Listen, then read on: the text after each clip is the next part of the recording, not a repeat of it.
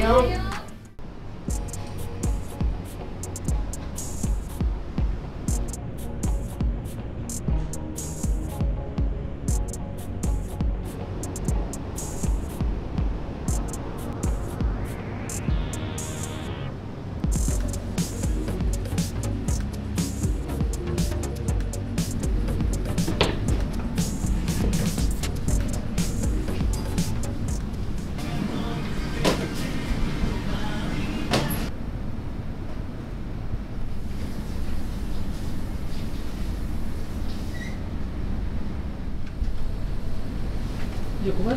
がっつり定食食いたいなみたいな。そうです。僕自身やっぱり好きなので。はいはい。でちょっとで飲めたりしてね。そうですそうですそうです。まあその中でうーんお米にもお酒にも合うものをっていうところで、うん結構商品商品への思い入れは結構強いですね。なるほど、はい、これどのくらい煮込むの？まあ、仕込み時間はそこまであれなんですけどある程度仕込んでから少し味を落ち着かせて。はい。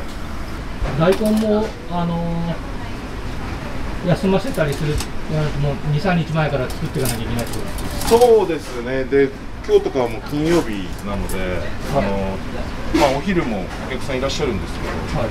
あの夜すごくお客様いらっしゃる。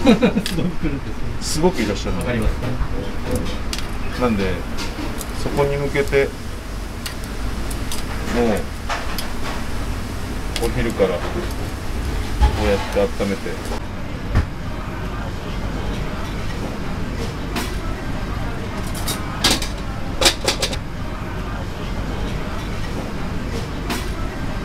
一応豚汁定食が10食10食。サービス定定食の役割なので、はい、ただあの豚汁はずっと召し上がれて単品でも。いいですしあのお味噌汁が定食ついてるんですけどそこにプラス300円で豚汁に変更できるので。そうですそうです。豚汁が限定なわけじゃ豚汁定食が限定で。もうだいぶだいぶ赤字覚悟の定食なので。長くないまだ数まだヶ月1ヶ月ちょっとぐらいです。た淡々とやってるんで、ええ。あすごいですね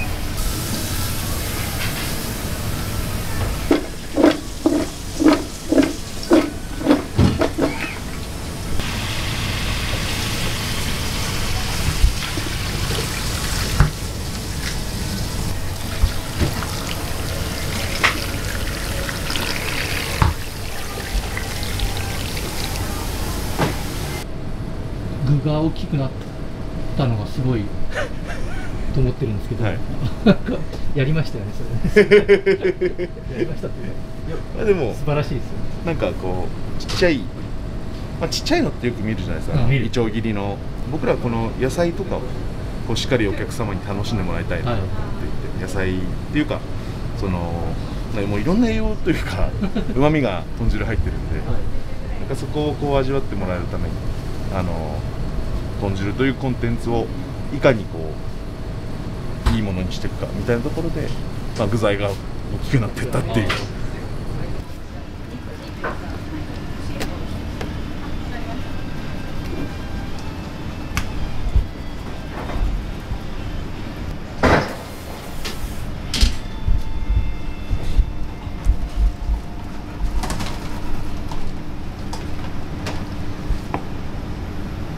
香りもここでついてるんですねそうです。やっぱ豚バラ、あの、まあサムギョプサルとかはいで見る三段バラの、なんで結構脂がね、出るんですよ。これがうまいそうなんです。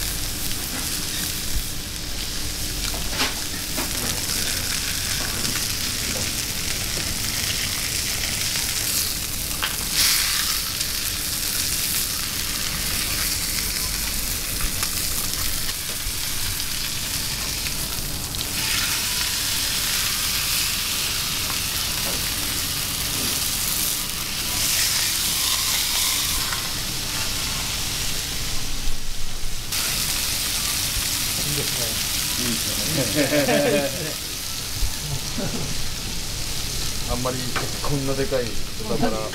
見ないんじゃないですか？見ないですね。しかもこれ、あれですね、角煮ですもんね。そうです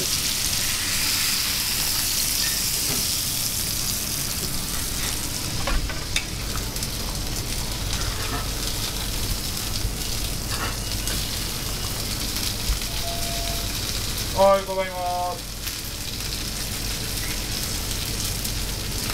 花崎様です。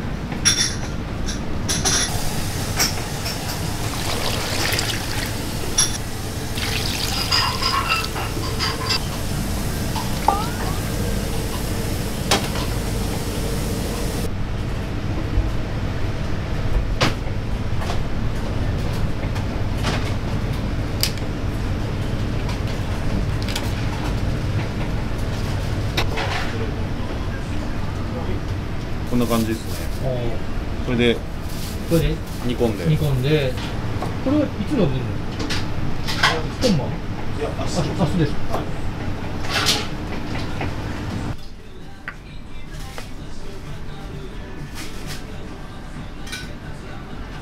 願いします。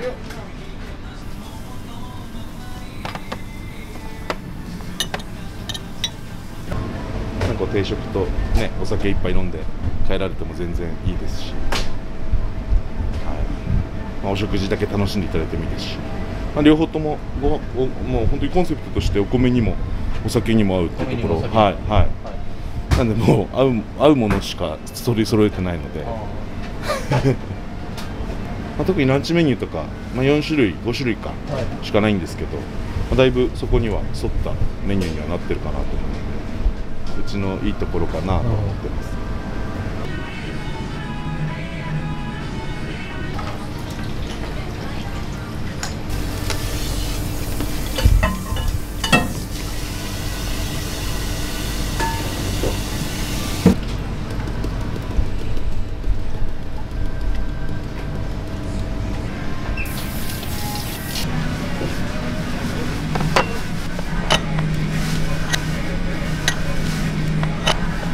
四択さん俺あったよ。お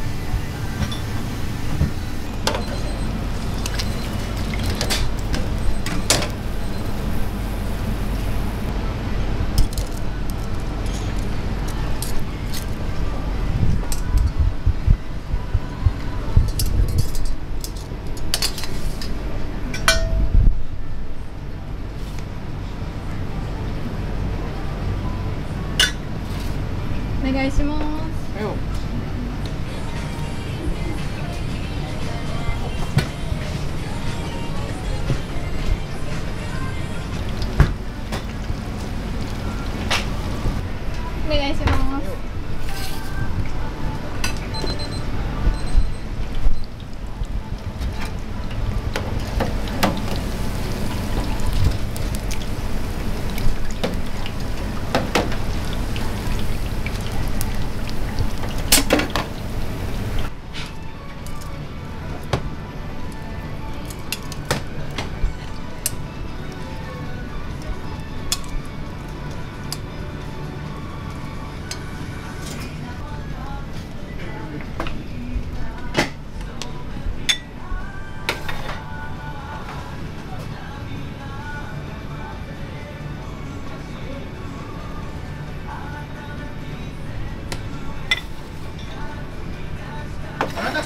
ったよ。はいよ。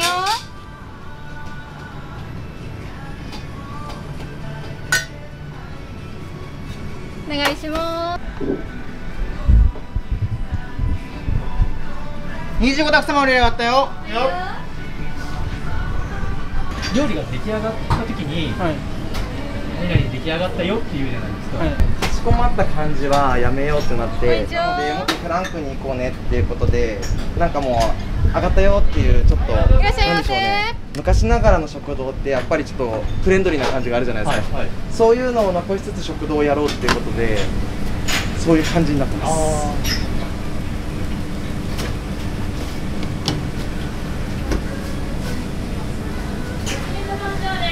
はいよ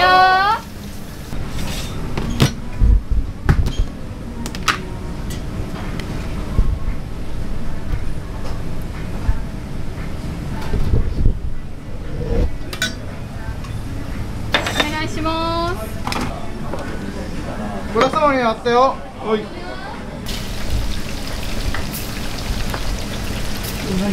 これとナス味噌炒め。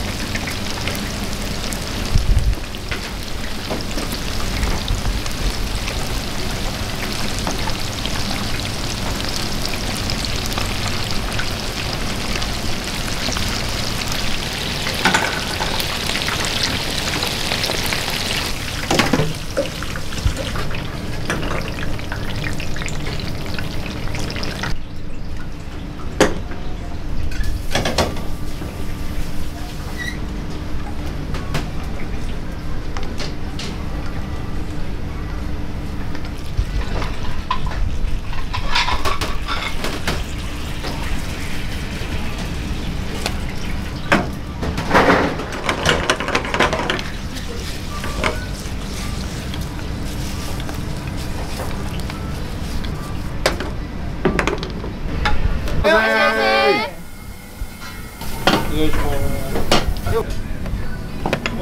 23たく様にあったよませよ。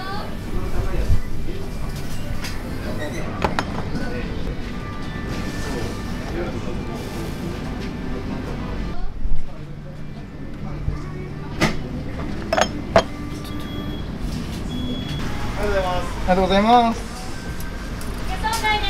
はいよありがとうございますうち豚汁がまあメインってことで、このもともとあのー豚汁って後ろで作ってたんですよ。ここもあの汁場っていうのを作ってもう豚汁をあのお客さんに提供するまでの作業っていうのもあの楽しんでもらいたいっていうことで作って、そうです。はいよ